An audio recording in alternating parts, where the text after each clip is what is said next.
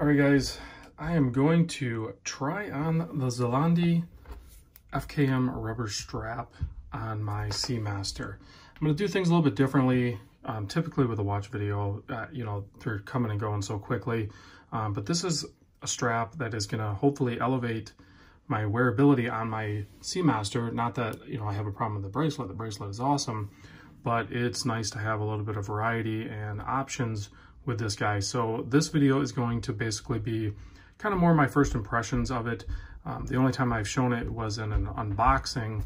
And so now I'm going to uh, install it and I'm going to wear it for a little bit and see how I feel about it. Because you guys know I'm typically a bracelet guy, but um, thankfully they included this really nice, um, it's, I don't even know if this is even really a cloth for, you know, wiping things down so much as it basically provides a nice work surface here. So um, I will attempt to do this on camera. So, and I've been wearing this guy for the, the last couple of days. Let me see if I can adjust this. I'll get this down here. Hopefully I don't knock it over. Now, I don't recommend sizing your straps or changing your straps, um, you know, when you are recording on camera like this because I have to kind of work around it. So the probability of me scratching up my lugs is extremely high. So I'm going to try to minimize that the best I can, but um, I'm sure I am, it's in the morning, so I'm sure I'm going to do something cringeworthy, so you have been warned.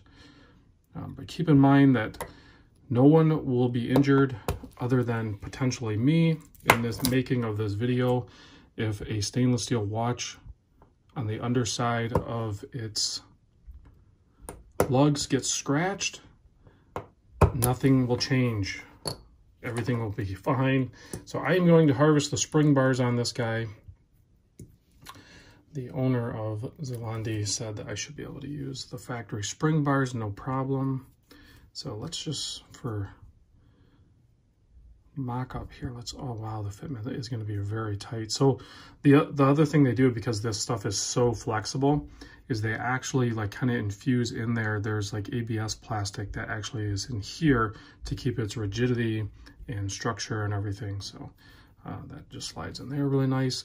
Now this is the part where I'll probably scratch something potentially because I cannot see what I'm doing. Try to get at least one side in there potentially. And then maybe this side.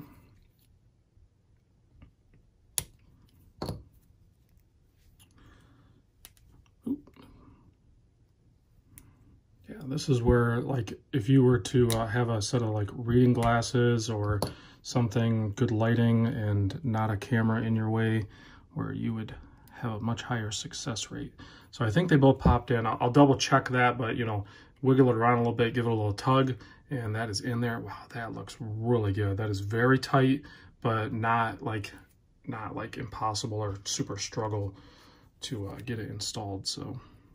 All right, I got it fully fitted in there. Did the little tug test. I actually put my reading glasses on. Looked really close. Made sure they were fully seated in the holes, even to the point where I'll take a little bit of extra effort and I'll take my fork and I'll just go in there and kind of push to make sure it's uh, fully seated.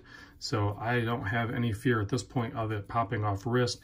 Man, look at how much it changes the look of the watch. And I love that it's just so well fitted and drops down. This, let's get this on wrist. This will, so this will be my first time putting this on wrist with this strap.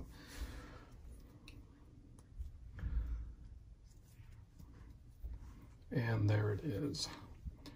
Um, insanely comfortable. I was kind of worried, to be honest with you, I was kind of worried that it was going to feel a little like watch head heavy, like top heavy, I guess.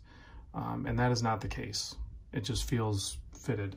I will say that uh, maybe a little bit longer strap potentially could be a thing. I'm not sure. I'll have to look to see if that's an option. Um, it's not too short, but if you know you have a larger wrist than me, um, you know I have seven and a quarter.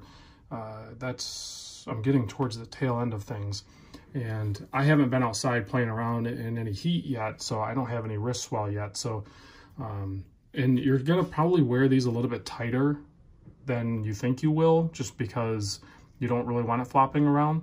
But I gotta say, man, that thing, it feels perfect. It feels I, I don't, there's nothing I could improve other than uh, I will talk to him about maybe a potential longer piece here, but I guess I don't really need it. So excellent first look at it, guys. I will update you as I give it some more wrist time. Uh, let me know what you guys think. If you guys have any questions, let me know. They do have different colors. And yes, I guess some people could say it, it is uh, pricey, I guess, at 175 I think. But uh, you're getting what you paid for. I mean, this is top-notch quality materials. It's going to last. It's, uh, you know, it's materials that are meant to be subjected to UV uh, rays and uh, exposures to different waters and environments and stuff. So well worth it. And I feel like you just don't want to cheap out. You don't want to buy a $10 strap on your $5,000 watch. You want to have a premium strap. All right, guys, thanks for watching, and I'll catch you on the next vid.